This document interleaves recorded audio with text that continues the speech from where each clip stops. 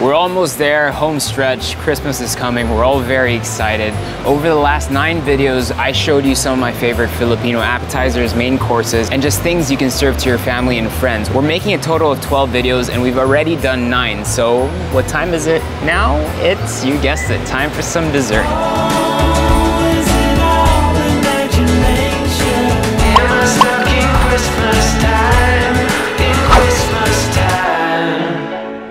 Let it be known that I have never made this recipe before, so today you'll be watching me reading a recipe. Yep, I do that too sometimes. Um, and the only reason I'm doing that is because my mom, for me, and for a lot of people I know, makes the best cassava cake I've ever tried in the world, and she never wants to give me her recipe, so I asked our wonderful Yaya Bell to write it down, so I have the secret in my hands. Um, the recipe is questionable in terms of quantities. So let's put it all together, try and figure it out. This is a strange cake for me because it doesn't use flour, it uses cassava as the main starch. Um, and that's it. So you don't add flour or anything. So it's basically like a flan because it has lots of eggs, lots of milks, different milks, sugar, and then obviously a starch element with cassava. That topped with some grated cheese is the best dessert you can have for Christmas. I don't care about it, what anyone says about Brazo de Mercedes or, or Yuletide logs or none of that it's all about the cassava cake. It's delicious, it's good, and it's probably difficult to make, so let's figure it out. Um, if you've never seen a cassava, here it is. You're welcome. Um, now what we're all gonna do is grate some cassava. If I find my grater. Where's the grater? There it is. So we're looking for like a cheese-like grate. Um, these are pretty tough, so really go at it. We need a lot of this. I'm gonna base my whole recipe because this recipe is literally for like 24 to 30 cakes.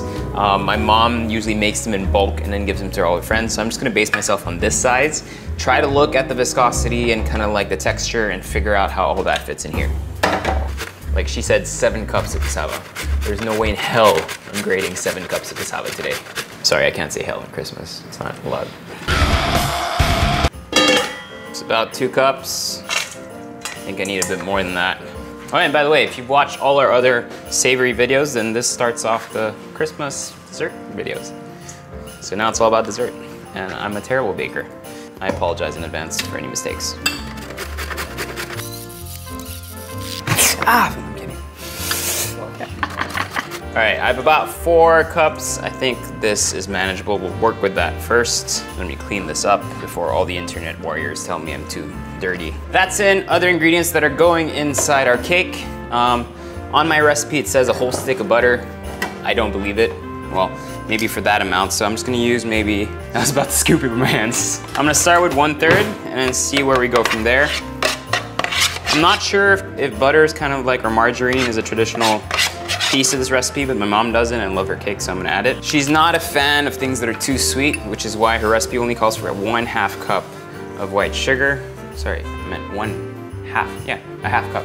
Not one and one half cup, just a half cup. But then you add some evaporated milk, so that sugar comes back. Use the tools at your disposition, just like the monkeys. Condensed milk. That's flavor right there. That gets tossed in with some coconut cream and then some fresh coconut water. Three eggs. The recipe doesn't call for salt, but I think salt makes sense. So I'm gonna add a little bit of salt. Then we're gonna go ahead and just mix everything together. I don't know how thick it's supposed to be, so let me make a call. You know what's funny? Like, even though I haven't lived in the house for like maybe 20 years now, I can still remember my phone number. Hello, good afternoon. Hello, is this the Heussaff residence? I'm getting hello? Hello. Hi, it's Erwan. Ah, okay, wait. Can I talk to Belle? Good afternoon. Belle? Yes? It's Erwan. Yeah. How are you? Okay. Can you help me with the cassava cake? How how thick is the batter supposed to be? Parang super li super liquid or parang Ah, i-melt mo muna bago mo i-mix sa ano, nakalimutan ko maglagay. Melt melt ano, yung butter? Oo, tapos i-mix mo sa ano, sa mixing, sa kasaba Oh, I did that. Tapa. That's okay. Pero yung mix, dapat super liquid or super thick? Ah, super liquid. Super liquid. Bago mo, oo, tapos eh, i-ano mo muna nga malamig, ah, wag mo na yung ilagay yung mainit pa sa mixing bowl mo. Ah, okay. So lahat malamig na lang. Oo. Okay, so no curdles. Tapos mix lahat. So dapat just thick kasi daming coconut, daming cassava, pero liquid pa Oo. rin, no? Oo, liquid siya. Okay, salamat. Okay. Thank you. Have a good day. Bye. Bye. Call a friend. Coconut goes in. I think for me, maybe just to kind of be sure, I'm gonna add some extra yolks so that I'm 100% sure it sets. It won't really change much in terms of flavor. I think, I think that seems okay to me. Add a little bit more coconut. The cake is supposed to be very dense. It's not like an airy and light thing, so let's figure it out as we go. So everything's in here, I think. Is it? Yes, everything's in here, except for the topping. So the topping later, we're gonna add in some cheese right on top. I'm gonna add some cheese and some butter. Just really making sure that the cake doesn't stick, so I'm just buttering my tin, a lot of butter. That gets filled in. Usually rule of thumb is three fourths. Pack it with some more cassava and coconut. Okay, my oven's been preheating at 325 convection Fahrenheit. Um, I'm gonna chuck that in there, I think for about four, 30 to 40 minutes. Take it out, we're gonna add in some grated cheddar cheese on top, put it on top, let that kind of burn out for about 20 more minutes, get nice and crispy, and then take it out, let it cool, and eat it. Oh shit, there's still chicken in there. 45 minutes later, seems a little loose. Let's see. I'm not gonna lose hope just yet. Cheese goes on top. I mean, let's be honest, the more cheese, the better. Cheddar cheese is usually the norm. You can even use things like quick melt. That is a flavor that we're very much used to having with cassava, and it does bring a lot of different kind of like flavors to it, which is quite nice because it has, a quick melt has that sweet taste. I'm just using a sharp cheddar here because I think the cassava is already sweet enough. The cake rather, not, not the root itself. Okay, lots of cheese. We go back in for about 20 minutes. It'd suck if I just dropped it. It looks beautiful. So happy that worked. I shaked it a little bit. I have batch number two here, um, which is a circle dish, much thinner, and then I can move it like that, and I put a knife through it just to double check, and it came out clean. So it means it's actually pretty set. Um, the problem with this is if you take it out right now, it's gonna go all over the place. So it's really important to cool it down first and then place it in the fridge for at least an hour just to let things solidify a little bit. I know it's tempting to eat it now, but we can't. All that is left, it's still a little warm.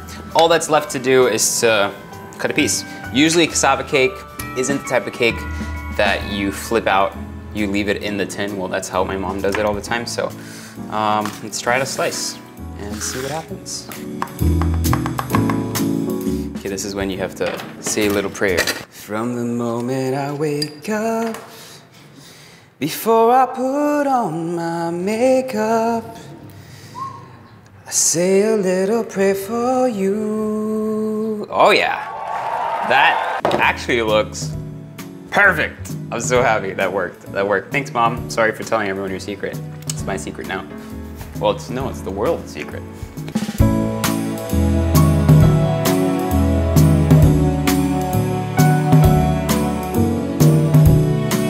I'm gonna let you into a little, another little secret. When you get cassava cake, go for the corners. That's where all the cheese is, that's where you crust all around. Once you get in the middle, it gets a little, eh, I don't know. But here you have all that reaction, all that cheese, all that beautiful crust, and you don't even need a fork and knife.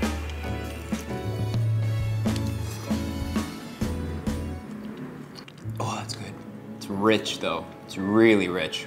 Couple bites of that though, you're good. I really hope you guys try out this recipe because it's really good. It's not too sweet. Surprisingly, it's not too sweet. Perfect for coffee, perfect for the holidays. Your family is going to love this. Make sure to check out all the other recipes. There's one more recipe coming. It's bibingka. I don't know if I can make it. Maybe I can, maybe I can't. In any case, it's the holidays. Let's all be nice to each other. Much love, peace, happiness. Please like, comment, subscribe.